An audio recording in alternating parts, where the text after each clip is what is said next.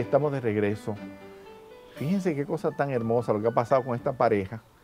Esta pareja no le estaba dando a sus hijos un testimonio de lo que de la presencia de Dios en sus vidas. Y sin embargo, Dios usó sus hijos acercándolo a él para que ellos fueran para sus padres luz y descubrieran que había una necesidad en esa casa y esa necesidad era Dios y lo que ocasionaba todas estas dificultades donde no se entendía cuál era verdaderamente la cosa importante. Y Clemente no entendía que era más importante que todos sus amigos, eran sus hijos, su esposa. Para que pudiera entender eso necesitaba que Dios estuviera ahí, que la luz del Espíritu estuviera. Pero sus hijos son los que le llaman la atención con sus actitudes de acercarse al Señor. Para mí eso fue un milagro. Y fue para mí la herramienta que Dios usó para acercarlo a ustedes a Dios. En el caso, eh, me gustaría que Luz, tú nos explicara cuáles fueron los pasos que ustedes dieron para que esto se, este milagro se realizara en la vida de ustedes, por lo que ustedes están aquí hoy en este, este programa, ¿verdad? Nosotros ambos somos eh, hijos de familia católica. Inclusive en la familia de Clemente, hasta su hermano menor, el que se casó, se casó por la iglesia. Nosotros no. Nosotros nos casamos por, lo, por lo civil porque no, no, íbamos a la iglesia. Entonces la hembra ya eh, la inscribimos en una eh, escuela católica y las monjas en todo su, su programa cristiano eh, la cuestionaba y la empujaba y hasta le exigían que ella hiciera la primera comunión, inclusive no estaba bautizada, ya grande. Entonces la niña comenzó a darnos presión a nosotros para eso. Y ella misma hizo todo con una vecina, todo el, camino. Eh, y entonces el varón, también con la necesidad de Dios, un amiguito lo invitó y visitaba la iglesia evangélica. Entonces ahí fue que nosotros dijimos, pero espérate, ¿por qué? ¿verdad? Si estamos eh, eh, criados en la iglesia católica, entonces vamos a apoyar a la hembra para que haga su primera comunión y se bautice, pero ya grande. Pero eso realmente no fue lo que Claro, el plan de Dios era ese, acercarnos.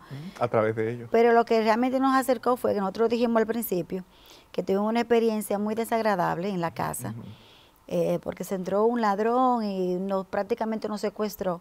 Entonces esa noche nosotros tuvimos en una, realmente en un peligro de muerte todos. Luego de ahí que nosotros comenzamos como, como que el Señor comenzó a darnos luz a través de ese suceso y comenzamos a ver como que nuestra vida estaba en desorden. Eh, como ya nosotros habíamos tenido un distanciamiento, cada quien estaba, él con su negocio, yo estudiando, preparándome, como que estábamos haciendo una vida cada quien por su cuenta, aunque estábamos dentro de una familia. Entonces ahí en esa búsqueda y en ese como que vamos a sentarnos a ver qué es lo que está pasando, escuchamos en, en la radio una dinámica de pareja, una invitación en una parroquia en San Mauricio Mártir. Entonces yo llamé para, para inscribirnos, él no sabía nada. Inclusive cuando él fue no sabía dónde iba. Yo simplemente, qué iba. yo simplemente le dije, mira, regálame este fin de semana porque es una actividad de parejas y tenemos que ir los dos. Así que dentro de tu itinerario, déjame sácame ese espacito. Sácame ese espacio. Así mismo le dije y él me dijo, oh, no hay problema. Eh, en fin, es que esa dinámica de pareja de ese fin de semana cambió nuestra vida completamente. Porque nosotros vimos lo que era en qué estábamos, que no habíamos vivido con Dios. Mm. Ese fin de semana, ese sábado y domingo, la verdad que transformó nuestras vidas.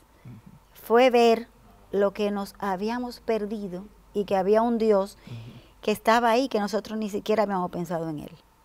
Entonces, a partir de ahí, entonces, cuando llegamos a la casa, recuerdo que le dijimos a los muchachos que íbamos a asistir a una iglesia eh, católica. Me la sorpresa para esos muchachos. Eh, en el caso nuestro fue un milagro, porque era como que ellos lo estaban esperando.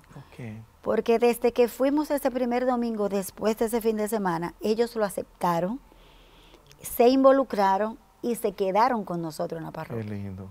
Ya siendo adolescente. Qué lindo. Y así el Señor fue paso a paso transformando nuestras vidas. ¿Y tú qué, qué sentiste tú en esa, en esa dinámica, Clemente? ¿Qué pasó en tu vida en ese momento? Eh, yo yo fui de paracaídas. Yo sé. Me llevaban de paracaídas. Yo justamente no pude asistir el sábado en la mañana porque estaba, yo tenía un negocio de préstamo Y ese día era día de, de De pago. recoger el dinero. Sí. Que, y llegué a la hora del almuerzo, a la mejor hora. Yo, bueno, voy a comer que vine. A la hora del almuerzo. Pero ¿qué pasa? Que cuando yo me integro, me fascinaron las dinámicas, los temas. Yo quedé encantado con la dinámica. Y el- al otro día, el primero que me cambié, no, vámonos temprano, fui yo. De verdad que a partir de ese momento la vida de nosotros cambió. Porque comenzamos a pensar en Dios, comenzamos a pensar en la familia, en los hijos, nos integramos en la iglesia, a trabajar en la, en la pastoral familiar de la iglesia. Eh, los hijos, los muchachos se integraron también, cada uno, aunque se integraron en iglesias diferentes, nosotros vivíamos en San Jerónimo, pero no, nos comenzamos a congregar en San, en San Mauricio porque hicimos dinámica en San Mauricio. Pero la niña mía estaba muy pequeña, entonces no puede estar dando via- los Claro, viajes para, claro. para San Mauricio y se quedó en San, Jeró- en San, en San Jerónimo. Mm. Eh, hay- eh, yo ah, creo que ahora está dirigiendo el grupo de oración de allá. Bueno, ella se integró totalmente. Y el, ni- y el varón se integró también con el grupo de jóvenes de San Mauricio. Y de ahí para allá fue todo. Nosotros comenzamos a ir a la Casa de San Pablo, a hacer los cursos. Comenzamos, Pablo porque ten- no- imagínate, dos, No sabía. dos novatos llegamos a la iglesia. bueno, pues, tenemos que aprender. Claro, Comenzamos claro, ir, claro.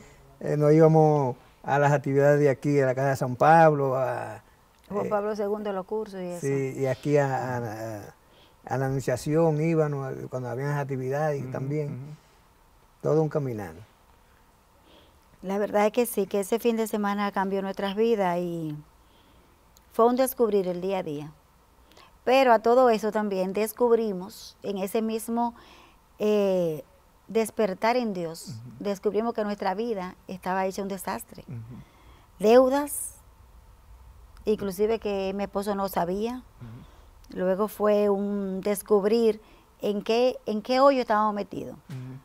Y Fue como Venía un- la prueba. Claro. Fue un develar y entonces, eh, inclusive todas esas deudas estuvimos al punto hasta de perder la casa. Clemente su negocio de préstamo que se dio cuenta también que era algo ilegal, que era algo anticristiano porque estaba cobrando de más en esos Sí. préstamos. Ese es lo primero que entra, la luz. El la luz entra De a- hecho, a la yo oscuridad. tengo un testimonio. eh, eh, justamente yo eh, pertenecía a una comunidad donde un personaje fue a dar una fue a dar una, Una Una conferencia. una charla sobre su testimonio de vida. Eh, no sé si tú tal vez, bueno, eh, eh, fue en, No un, tiene- restau- en sí. un restaurante. Sí, no, no tiene que mencionar el Sí, nombre. Y Hay que fue un testimonio, ¿Eh? Hay que mencionarlo. Ah, sí. fue un testimonio que marcó mi vida también, porque luego muchas de las decisiones que tomé partieron en gran parte de ese testimonio, de esa persona que yo oí ese testimonio, En ese, en ese ¿Y restaurante. cómo, en se ese llama, restaurante. ¿Y cómo se llama esa persona? Roberto Reyes. Es verdad. ¿Y dó- Yo recuerdo que tú fuiste a ese, a ese, a ese lugar y diste tu testimonio cuando tú tenías tu negocio de, Sí, de sí. de, impuestos. de- de la cuestión de los impuestos. Yo tenía un, eh, un negocio de, de préstamo y eso me motivó. Muchos años después, yo liquidé ese negocio. Oye, qué Lo cosa. liquidé. Poco Y mira que mi familia dependía de ese negocio. Qué cosa. y fue lo una liquidé. decisión muy fuerte. Entonces, en cierta forma, después que liquidé ese negocio, eh, porque fue muy imprevisto, yo duré hasta verte como tres años desmontando poco a poco. Y llegó un momento donde eh, llegaron entonces la sorpresa de que Sí. tenía muchísima deuda, que yo en cierta forma no, no, estaba, no Que sabía. él no sabía que estaban esas deudas, deudas eh, millonarias. Entonces, eh, en fe, fue ponerse en los pies del Queda Señor. un minuto y quiero y no quiero que eso quede inconcluso. A- a- a- eh, díganmelo lo más pronto que ustedes puedan. Bueno, en ese caso, entonces cuando ya estábamos eh, en quiebra, nos pusimos en oración y en oración el Señor nos muestra un camino que fue el negocio de la comida. Ok. Y los iniciamos con, con los trates de la casa y la cocina de la casa. Oye, qué interesante. Eh, fue, fueron unos años muy difíciles, unos años de mucha fe, de mucha oración, de, y, y entonces a través de él es que ahora estamos viviendo de ese negocio, del negocio de la comida. Qué elemento, ¿eh? Cómo Dios te iluminó. Y óyeme, qué bueno que fue, que me utilizó a mí para hablarles a ustedes. Yo estaba, le decía a mi esposa. Y qué cosa, y qué sorpresa para mí que tú hayas dicho eso. Sí. Pero cómo la luz llegó a la vida de ustedes, le mostró el camino equivocado, pero una vez le muestra también el camino correcto. Sí. No nos dejó solo. Así no es como Dios solo. actúa. siempre hay ángeles en, lo- en los caminos de uno, que Dios nos lo manda. Y en el caso de nosotros hubo alguien también que fue esencial. En, la- en el- los momentos más difíciles, eh, eh, ese muchacho, Nos ayudó bastante. casi nosotros fuimos el ministerio de él. Mm. No, no apoyó, no oraba con nosotros. eh, eh, olvídate que, que la cosa, Dios está con ustedes. Sí.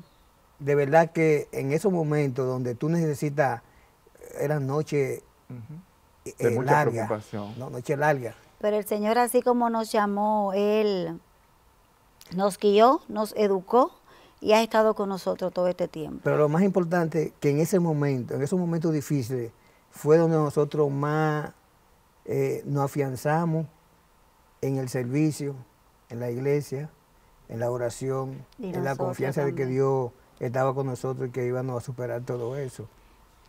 Tenemos que terminar el programa. Hay muchas cosas que todavía hubiéramos podido decir. Sí. Pero la verdad es que yo quiero darle las gracias a Dios por el testimonio de ustedes. Porque como ustedes tuvieron que caminar un camino difícil, pero al final se muestra algo que es lo que siempre decimos. Dios no se deja ganar en generosidad ni en fidelidad. Y cuando el hombre le dice que sí a Dios, cuando el hombre está dispuesto a abandonar cosas que importantes como tú lo hiciste, ustedes lo hicieron, Dios no se deja esperar. Y nadie que ha puesto su confianza en Dios ha Queda quedado defraudado. Hoy ustedes están viviendo la gracia del Señor Sí. junto a sus hijos. ¿Qué hubiera sido de la familia de ustedes si Dios no hubiera llegado a sus vidas? Así que yo le doy gracias a Dios por ustedes. Le pido que Dios le devuelva en bendiciones a ustedes, a sus hijos. Este testimonio que nos han dado. Me alegra tanto de haber sido yo instrumento de Dios para que tú entendieras Sí, sí. el camino por donde tenías que caminar, como lo entendí yo en mi momento también. Sí. Así que muchas bendiciones para ustedes y gracias por haber dicho que sí. En otro momento lo vamos a invitar para hablar de otras cosas también, ¿verdad? Porque Sí. seguro que ustedes tienen muchos testimonios que dar. Sí. Así que un abrazo a sus hijos y que Dios los siga bendiciendo mucho. Amén, Amén. amén. Ustedes A ustedes amigos no tenemos tiempo para más. Qué hermoso testimonio, qué trayectoria de vida y luego ver la obra de Dios en medio de los hombres. Eso es lo que Dios quiere para ti. Ellos son testigos de que para Dios nada es imposible, que Dios tiene la respuesta. Hasta nuestro próximo programa, que Dios los bendiga y los llene siempre de su paz.